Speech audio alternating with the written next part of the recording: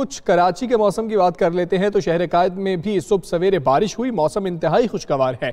महकमा मौसमियात ने 30 जुलाई तक मजीद बारिशों की पेशगोई की है।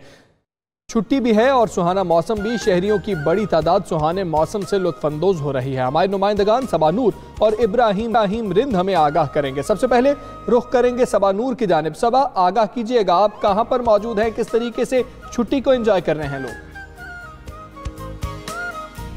आज बिल्कुल शहर कायद पे जो है वो इस वक्त बादलों के ढेरे हैं। गहरे बादलों ने जो है वो आसमान को घेरा हुआ है। सूरज लोग की आँख मजोली का सिलसिला जारी है और इस सुहाने मौसम को कराची के शहरी जो है वो भरपूर तरीके से इंजॉय कर रहे हैं क्योंकि कराची वालों को इंतज़ार होता है सुहाने मौसम का, बारिश का, क्योंकि बारिश बारिशें बहुत कम होती हैं और यही वजह है कि इस वक्त कराची के जो शहरी हैं, उन्होंने सुहाने मौसम से फ़ायदा उठाते हुए साहिल का रुख कर लिया और शहरियों की एक बड़ी तादाद इस वक्त साहिल पर मौजूद है।